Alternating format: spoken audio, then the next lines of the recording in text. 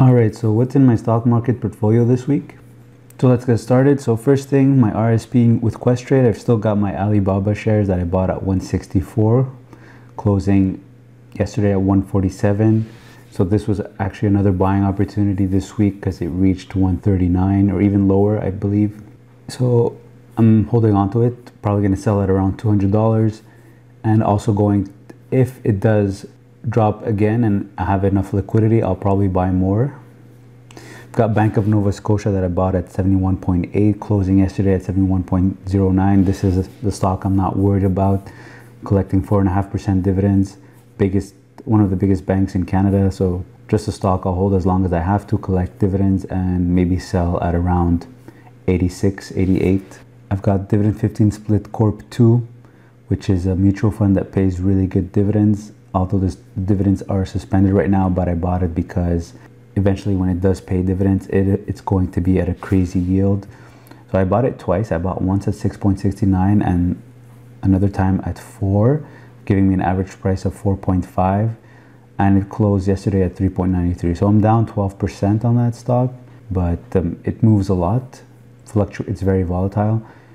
So it could easily go to five in, in, in the next week or even six. E either I'll keep it and collect the dividends forever or I'll sell at a capital gain. Probably I'll be selling at a capital gain at around $6. Dividend 15 split Corp 2 I bought at 7.99.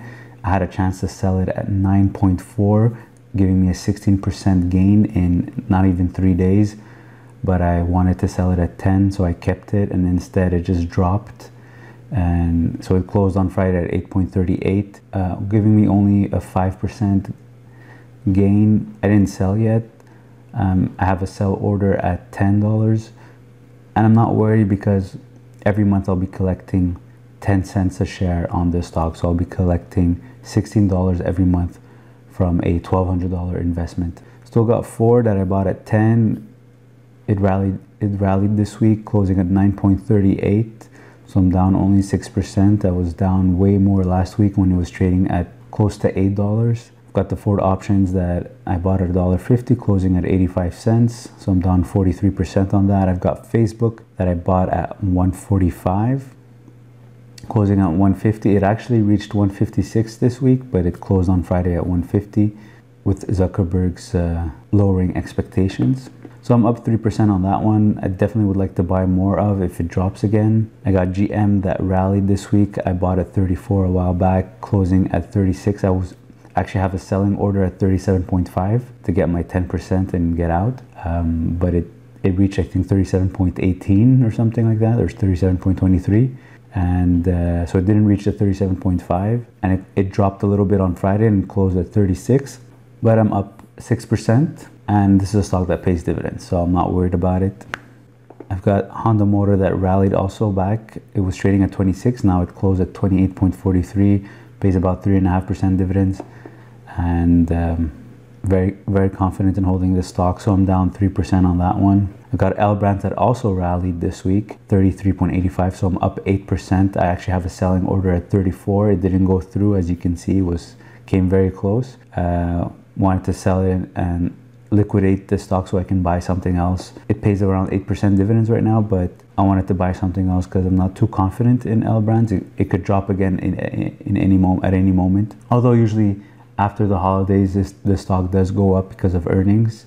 You've got Victoria's Secret and Bath and Body Works, I believe, is the other one. So usually they're they're big sellers uh, during the holidays. So yeah, so I'm up 8% on that one for now. I've got Vodafone that I bought at 22.87. It was actually trading at in the 18s. Now it's at 19.45, so I'm down 15%. But it pays dividends twice a year, about 8%. So in my RSP, you could see that the only I'm only up on four things, four out of I've got 11 holdings, and I'm up I'm up on only four of these 11 holdings. 8% up, 6%, 3%, and 4 or close to 5% up. Everything else I'm down 10%, 12, 6, 43, 3%, 15%. Not too proud right now. If you look at my TFSA, I've got more Ford that I bought at 10.95, down 14%. I've got some Ford options that I bought at 1, closing at 85 cents. I'm down 15%. I actually had a I have a selling order on this one to sell at 1.25. I felt this week it was it had a good chance of reaching that. Got Facebook that I bought initially at 168, closing at 150, so I'm down 10% on that one. So Facebook is a stock I'll, I'll probably sell at around $200. AT&T that I bought at 32, closing at 30.52, so I'm down 4%. So in my TFSA, you could see you could see I'm down on all my positions. All I can do is wait. Ford and AT&T both pay dividends, so not too disappointed. Just Facebook is the only one that doesn't pay dividends here, but it's got good potential capital gain. I think Q4 they're gonna have good earnings and the stock is gonna is gonna bounce up. And if it's not good earnings, it'll be some sort of good news that's gonna make this stock go up. So on my investors edge side, I got some dividends from uh, from uh, Dollarama and Nova Scotia and Bank of Nova Scotia, and I got and I got the grant for the RESP. So I got an $500 from the government to trade with, and I think with that I put an order on on AltaGas, but it didn't go through. So yeah, so I've got more Bank of Nova Scotia, but in this in in here I bought it at 76, so it closed closed at 71. Barclays that I bought at 9, I think it closed at around 9.15 on Friday. Got Dollarama that I bought at 40.75, closing at 37.85. It actually reached 35 this week because some guy came out saying that he has low expectations of Dollarama, th- thinking that they grew too fast and they've they've they've reached a cap and they've increased the prices of their items, so they're not even selling anything at a dollar anymore. Uh, the stock reached 35, but as you can see, it rallied back up to 37.85. So it's like it doesn't it doesn't feel like it belongs at 35. I don't agree with the, the news that came out. I don't think it deserved to, to drop to 35, but whatever. Creates a buying opportunity for some. The only thing I don't like about Dollarama is that it does have a lot of debt. It's got more debt, it's got more liabilities than assets. So that's the only thing I don't like about Dollarama, but everything else is good. Revenue and income is growing. Revenue and profits are growing year after year. You could I could see for myself that there's the stores are growing. They're opening more stores. The existing stores are renovating I've got Enbridge here that I bought at an average price, I believe, of 48. This one pays good dividends, about 6.5%, closing at 41.19. It, it, it was a good buying opportunity this week. It reached almost 39. In my TFSA, I've got Cenovus Energy that I bought at 15. Oh, oh, close to two years now. I've got Dividend 15 Split Corp 2 that I bought at 5.17, closing at 3.93. Got Enbridge that I bought at 46 average price, closing at 41.19. And I've got Hudson's Bay that I bought at 13.5, closing at 8.59. So really Cenovus Energy and Hudson's Bay were really, really bad trades. I guess I could say I was impatient. I just wanted to buy something. So these were the stocks that dropped at that moment and wanted to buy something in Canadian. So I bought these ones, but definitely were bad choices. It's been, I think it's getting close to two years that I've had them and collecting not even 1% dividends per year from them. So yeah, these were bad trades. Enbridge, I bought a little bit too high, but at least I'm collecting 6% dividends from that stock. And Dividend 15 Split Corp 2, I just bought recently, so I'm not worried about that. And when it starts paying dividends, it's going to be almost at a 28% yield. And uh, if not, I'm going to sell at around $6 for a capital gain. On the US side, I've got beautiful General Electric that I bought a long time ago at 17, closing at 9.29.